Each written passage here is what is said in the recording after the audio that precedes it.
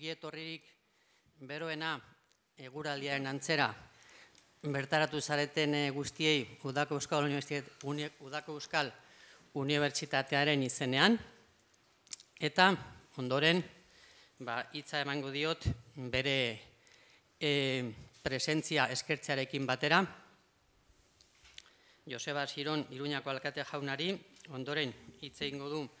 Nera dagoen Nafarroko gobernuko Euskera Kontseilia den eh, Ana Oliok, eskertzea zuri ere etortzea Ana Nuski, eta mailaren beste izkinean daukagu UEUko idazkari nagusia den eh, Ane Sarasua, sarrera ekitaldi honetan ere parte hartuko da. Besterik gabe, eskerrik zintzoenak emanez hemen egoteagatik, ba zurea daitza Joseba Siron Iruñeko alkate jauna. Nafarroako gobernuko Euskarako Kontseilaria, UEUko idazkari nagusia, UEUko zuzendaria, ikasle, lankide eta lagunok egunon eta ongi etorriak Euskaldunon hiri buruzagira. Horea da, benetan, niretzat Udako Euskal Unibertsitateko berrogeita amabigarren Udako ikastaroen hasiera ekitaldian parte hartzea. Hain zuzen ere, UEUk mila behatzeun da irurogeita mazazpitik ona etengabe egin duelako apustu Euskarak goi mailako formazioan presentzia izateko hemen iruñan. Gaur, hemen gauden guztiok apustu horren parte gara eta Euskararen aldeko konpromiso hori indartu nahi dugu. Ekitaldi honek izpide izango duen gaia ez da nola nahikoa, herri bezala dugun erronka ere ez delako nola nahikoa. Euskal Herria bere osotasunean hartuta Euskarak hiru estatus juridiko ezberdin ditu gurean, eta horrek errotik baldintzatzen du Euskararen egoera, erabilera eta etorkizuna tokian tokiko.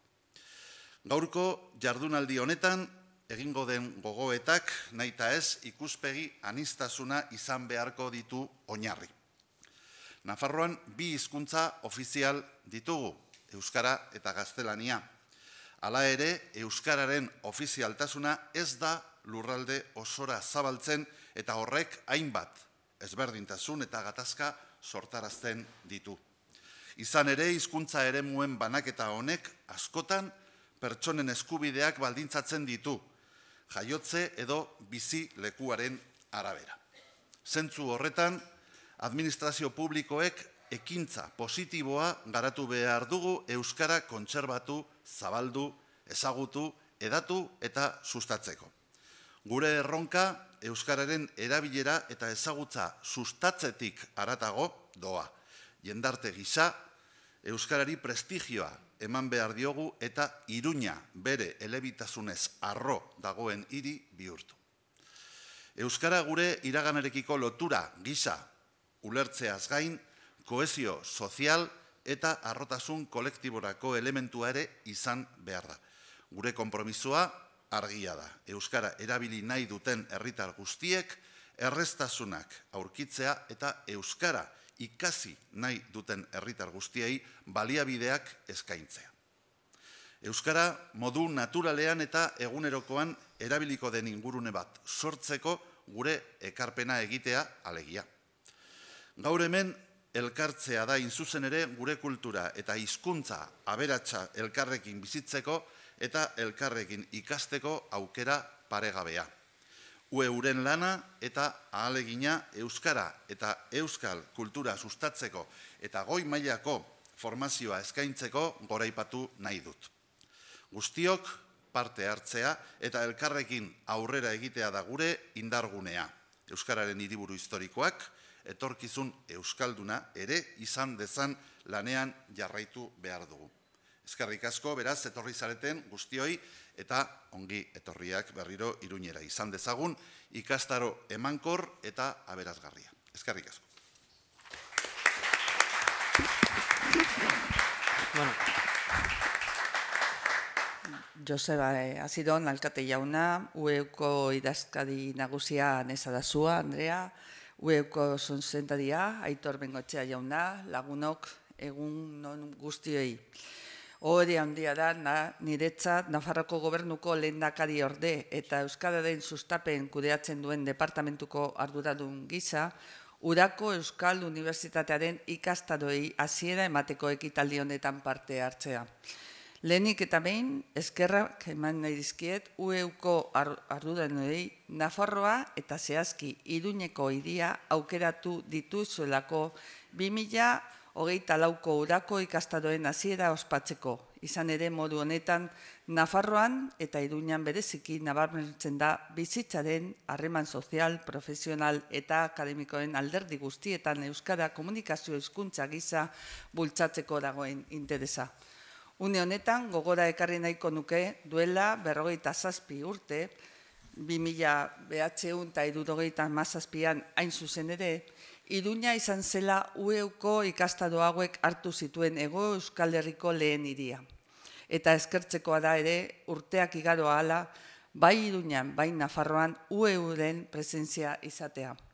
Berrogei tamar urtetik gorako esperientziak UEUren prestigioa bermatzen du azkunde ibilbede ikusgarrian proiektu berritzaile helduz unean uneko beharretara egokituak, teknika eta metodo arkastatxuekin bedekintza Euskal Herri osoa edatuz.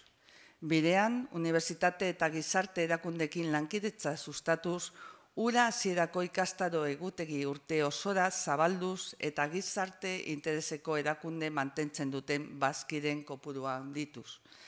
Gaur iduñeko kontestablearen jaudegi honetan hasiko den ikastadoak. Hiri honen milaka urteko historiaren lekuko denak interes handia erakusten du Euskarak gaur egun duen estatus juridikoa aztertzerakoan eta garai honen honek gure hizkuntzaren erabilera indartzeko eskaintzen dizkigun aukera erakusterakoan. Mende erdi baino gehiagoz, UEUk urte zurte Euskararekiko eta Euskal Euskantzarekiko bultzara mantendu eta areagotu du gure gizartearen errealitatea lotutako erakunde akademikoren eredu bihurtu duena. Gero eta handiagoa den bultzada horri etorkizunuan ere irmo eustean nahiko nuke, edagozpenen aurka borrokatuz eta Euskal Herriak aurrera egin dezan kulturan, zientzian, ikerketan, Euskararen erabilea ondare komun berezia gisa indartuz eta zainduz datozen belaunaldi utzi behar baitegu. Ura honetan Tolosan, Eibarren, Usurbilen, Donostin, Bilbon, Baionan eta hemen Iruñan bertan eskainiko diren ikastaro ezberdinak arraskatatsuak izan ditezela espero dut izena eman duten persona gogobetetzea eta udako Euskal Unibertsitatearen izen ona eta sola are gehiago sendotzea ere. Eskerrik asko zuen parte hartzegatik. Eskerrik asko.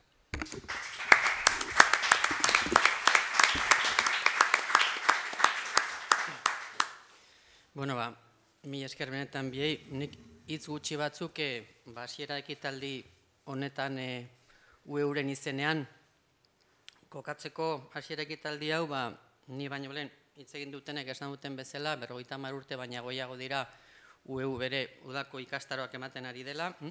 Ipar Euskal Herrian hasi ginen irurogeita margarren amarkadan. Urte asko dira, urte hauetan zehar ere, ba, gure udako ikastaroek euki dituzte formato desberdinak, hm, gauza desberdinak egin ditugu beti ere saiatuz unean zegoen eh, beharrari e, erantzunez, horrela, garai batzutan egin ditugu ikastaroak e, adituentzat formatu nahiko mugatuetan, beste batzutan hitzaldi zeharu irekiak. Hainbat urtetan hemen egon gara baitare Iruñan, Larra Honan, e, Barnetegi moduan. Eta berrogeita margaren urte horrena betetzarekin batera, pensatu genuen, e, nahi genuen indartu, ueuko ikastaroak izatea nolabait eh, gogoeta eta ausnarketa gune. Hm? Gogoeta eta ausnarketa gune azken finean e, ikastaroetan hainbat jende biltzen da, batzuk egoten dira mailaren alde batean eta beste batzuk bestean, baina danak elkartzen ditu jorratzen den gaiarekiko interesak, eta arduan gure naia da benetan, e, bueno, ba hemen dauden e, guztien artean, aski ezaguna den e, zein bat buru, hainbat aburu, e, esaldian arabera, ba, saiatu denon artean eginez e, gaiaren inguruko gogoeta bat, eta batez ere mm, parte hartzaile guztiak libre sentitzea eta animatzea bere ekarpena, ekarpena e, egiteko. Zentzu horretan, e, gaur hemen joratuko dugun gai honek ba, bete-betean bat egiten du ueuren e, izaera eta, eta muinarekin esango nuke, hasieratik ueu definitu zuen bere burua hiru ezaugarrien arabera, nazionala, euskalduna eta herritarra eta uste hiru ezaugarri horiek islatzen direla gaurko gaur jorratuko dugun gai honetan. Euskera nola ez, gaurko gaiaren ardatza, nazionala horren inguruan egin dugu saio berezi bat euskararen estatus juridiko aztertzeko Euskal Herri osoan, eta horrek eramaten gaitu ezinbestean gure herri txiki, baina anitz eta bitxi honek daukan estatus juridiko oso komplejoa aztertzera, gaur aztertuko deguna, egin dugu saio berezi bat eta oso pozik gaude lortu degulako ekartzea hiru jurista fin bat e, Euskal Autonomia Erkidegokoa, beste bat Ipar Euskal Herrikoa eta hirugarren Nafarroa garaikoa, bakoitzak azaltzeko lurralde bakoitzeko estatusa, konplexutasun gutxi izango balitz, zuek aurreatu duzuen bezala, gaina Nafarroan eskualdeka estatus juridikoa mm, desberdina da. Eta e, baita ere esan nahi nuen, ba, ipatutakoak berez noski badauka bere interesa jurist, kasu honetan juristontzat, interes zientifikoa, teknikoa, nik esango nuke, e, gaitzerdi gaur elkartu gaituen arrazoiak edo, edo bai, arrazoiak edo motivazioak izango balitz zientifiko tekniko hutsa, eta gaiak ematen du, noski ematen du eztabaidarako, azterketarako, nola ez du emango, hain estatus eh, atomizatuak herri baten, herri berdin batean eta hizkuntza beraen inguruan, baina nire aurretik hitz egin dezuenek, aipatu zuen bezala, hemen ez dago bakarrik interes zientifiko juridiko bat, hemen dago aldarrikapen bat, honen atzean dago aldarrikapen bat, eta da euskeraren herrian, euskal herrian, euskeraz bizitzeko eskubidea gaur egun e, inundik inora bere osotasunean planteatuta existitzen estena, bere osotasunean. Orduan, e, ba, nahiko genuke, emankorra izatea, baitari Joseak esan duen bezala, berazken hitzetan, emankorra izatea e, jardunaldia, eta zentzorretan ba, animatu izlariak, baina baita ere parte hartzaile guztiek, ba, beren ekarpena egitea, eta hona litzateke, hemen elkartu garen guztiok, e, antzeko motivazioekin etorrita, ba, hona litzateke agian, hemen dikateratzea e, gogo eta berriak, sinergia berriak, planteamendu berriak, gai teknikoki hain komplejo, eta politikoki bain eh, sakona den honetan. Eskerrik asko.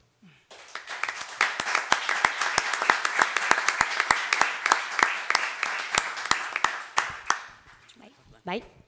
Kaixo, bueno, ba, egunon nik ere, eta ba, mi esker gure udako ikastaroen irekirak italdi honetara etortzearren, e, aitorreko zondo kokatu du zer da no, egun hau e, ueuren txat, egia da ueu azken aldian ba, azkuntza prozesu batean dagoen proiektu badala, baina udako ikastaroak berroita amabi urtetan, inolako etengabe eta lurraldetasun ikuspegi batetik, ba, oraindik ere ikuste gure proiektuaren marka izaten jarraitzen dutela, ba, osnarketarako, gogetarako, baina, bueno, herri, begira jartzen garalako, eta, bueno, hain ondo kokatu duten gai hau, e, pare bat urte, daramagu UEUtik ba, estrategikoak diran gaiak irekiera ekitaldi honetara ekartzen. Irekiera ekitaldia guretzat beti izan da ba, e, aziera, udako egi aziera emateko, baina bueno, e, instituzionala ere bada, eta aldarrikapen, ero gai estrategiko horren kokapen ikuspegi batetik ba, saiatzen gara, unibertsitatera, erronketara begira jartzen, eta benetan be gizarteak behar dituen erronka hoiei ba, maila akademiko batetik erantzutzen. Bago, urtetxo batzu gai estrategikoa irekiera ekitaldi hauetan e, kokatzen eta ba, e, udakoek duten referentzialtasunaren gatik ba, e, kokatzen gaitu ere agendan, e, kokatzen gaituzten medioetan eta oi hartzun ikuspegi hori ere garrantzitsua da, ba, azken finean gu gizartean eragin nahi dugulako eta olako gai batera gizarteratzea pentsatzen dugulako guretzat bai helburu estrategiko bat izan behar dela. Aitorrek ezin hobeto kokatu du gaur ekartzen dugun e, gaia, e, nire egitekoa orain bos minututan izango da bizkat egunera, egunearen e, nondin norako ero zertzela da nagusiak ematea, e, gaia ondo kokatu da Euskaren estatus juridikoa, Euskal Herrian egoerak eta aukerak. Gu gai estrategiko bat ekartzen dugu, gizartean dagoen erronka, gabezi, kezka bati erantzutea nahi dugun, alkateak ondo esan bezala, gai honek herri bezala posizionatzen gaituelako eta erronka bezala ulertzen dalako herri ikuspegi batetik, eta beti maila akademikora atera eramaten dugu eztabaida gure ekarpena, ekarpen akademikoa izaten saiatzen gara. Horretarako, ba, lehen zatean, bloke bat izango dugu, ba, e, iru estatus ezberdinetatik, eta alik eta ikuspegi zabalenetik irakurketa akademiko bat ematen saiatuko gara gaur e, ba, zuei ekartzen dizuegun gai honetan. Gero atzedenaldi tartetxu bat egongo da, kaferako tartea, e, gogo eta gune, hausnarketa gune, ipatu ditu aitorrek, e, guretzat e, gune formalak oso garrantzitsuak dira, baina ez formalak ere, ba horrako plazak beba izan behar direlako be, maitik zuen ganda, baina bueno, ez da norabide bakarrean ulertzen dugun gauza bat, oan egotea, hitz egitea, e, partitzea, ba, guretzat e, ba, garrantzia handia ematen diogun momentu batzuk dira, ordu erditxo bat izango dugu atzeen aldi horretan, eta gero behin egoera ikuspegi ezberdinetatik aztertu ondoren, ba, urrengo blokean, mai inguru baten bitartez, zaiatuko gara, bai, egoera ikusten, baina aurrera gira horrek, ba, ze aukera ikusten ditugun egoera honi aurre egiteko, eta zaiatuko gara, ba, gako batzuk, e, gako batzuen bila, ero gako batzuk, e, e, definitzen eta azken ondorio batzuk ataratzen eta ia eguerdian ere ba ze ondorio ditugun gai honen inguruan. Eta behin hori esan da, ba, mila mila esker zuen itzengatik, ez zino beto kokatu zute gure proiektua eta helburuak, eskerrik asko alkate, kontzeilari eta gueko zuzendari. E, eskatuko dizuet jartzea, nik ja lehen blokea orkestu alizateko. Eskerrik asko, bai.